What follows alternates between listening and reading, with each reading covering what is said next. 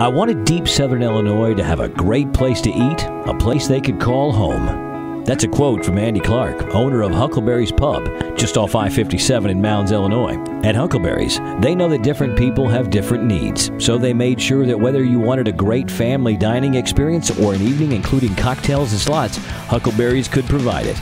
And they've kept it all separate so that you can experience Huckleberry's just the way you like it. Huckleberry's, food, spirits, and good friends. Just off I 57 in Mounds, Illinois. Online at huckleberryspub.com or call 618 342 6444.